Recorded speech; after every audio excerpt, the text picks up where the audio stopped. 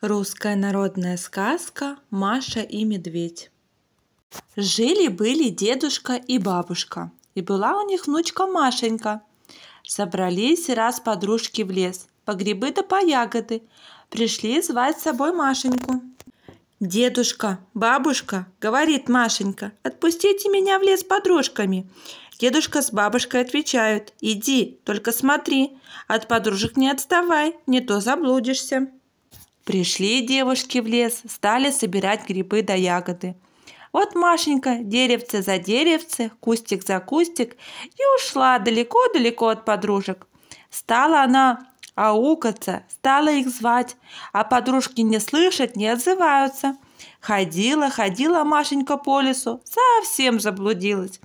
Пришла она в самую глушь, в самую чащу. Видит, стоит избушка. Постучала Машенька в дверь, не отвечают. Толкнула она дверь, дверь и открылась. Вошла Машенька в избушку, села у окна на лавочку. Сидит и думает, кто же здесь живет, почему никого не видно.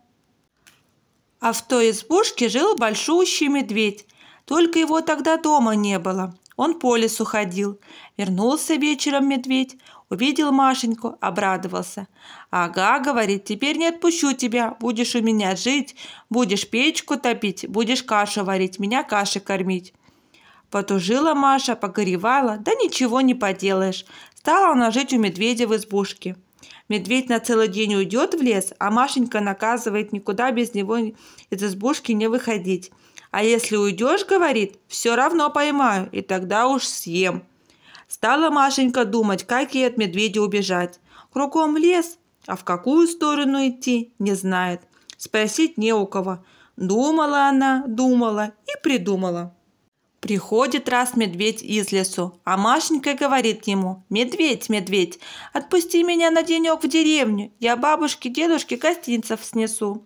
«Нет», — говорит медведь, — «ты в лесу заблудишься, давай гостинцы я их сам отнесу».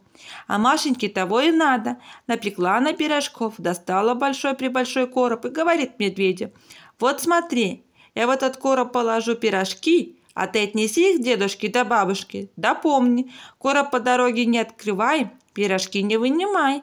Я на дубок залезу, за тобой следить буду».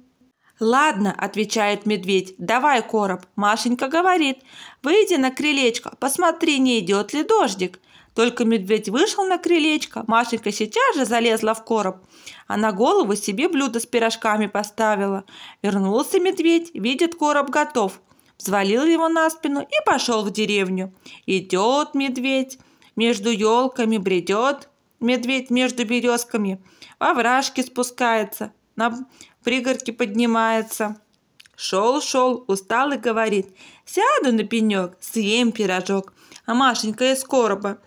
Вижу, вижу, не садись на пенек, не ешь пирожок, неси бабушке, неси дедушке. «Ишь, какая глазастая!» — говорит медведь. «Все видит». Поднял он короб и пошел дальше. Шел, шел, шел, шел. Остановился, сел и говорит, сяду на пенек, съем пирожок.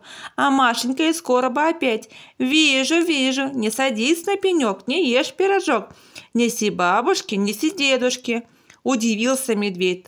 Вот какая хитрая. Высоко сидит, далеко глядит. Встал и пошел скорее. Пришел в деревню, нашел дом, где дедушка с бабушкой жили, и давай изо всех сил стучать в ворота. Тук-тук-тук, отпирайте, открывайте. Я вам от Машеньки гостинцев принес. А собаки почуяли медведя и бросились на него. Со всех дворов бегут, лают. Испугался медведь, поставил короб у ворот и пустился в лес без оглядки. Вышли тут дедушка да бабушка к воротам. Видит, короб стоит. «Что это в коробе?» – говорит бабушка. А дедушка поднял крышку, смотрит и глазам не верит. В коробе Машенька сидит, живехонька, здоровехонька.